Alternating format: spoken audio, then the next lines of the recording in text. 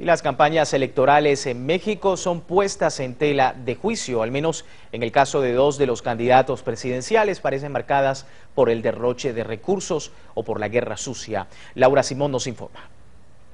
Al puntero en los sondeos electorales en México, Enrique Peña Nieto, del Partido Revolucionario Institucional, sus oponentes lo acusan de rebasar los topes legales de gasto.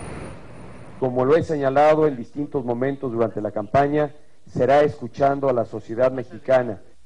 El partido en el gobierno, el conservador Acción Nacional, inició una intensa campaña en contra del exgobernador del Estado de México por, presuntamente, incumplir sus compromisos. Peña no cumple. Esta propaganda casi sustituyó por completo a la de su candidata, Josefina Vázquez Mota. El mejor de los caminos y como quiero seguir construyendo esta campaña es al lado de la gente. Pero la percepción de los mexicanos parece lejos de estas palabras. Una encuesta realizada por el Instituto Nacional de Geografía y Estadística hace unos meses reveló que al 82% de los mexicanos le importa poco o nada la política. El derroche de recursos y las campañas de descalificación contribuyen al desinterés. Me llena un poquito de miedo, me produce algo de miedo que pueda desbocar en alguna situación inadecuada.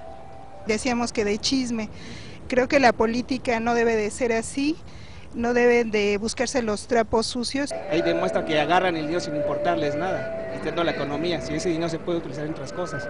El efecto es que la participación electoral se inhibe, lo cual podría ser una estrategia deliberada, asegura este investigador.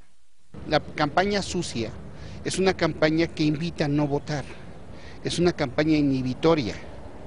Lamentablemente solamente el PAN ha hecho esa campaña.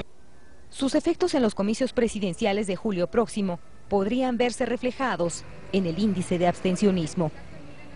Laura Simón, Telesur, Ciudad de México.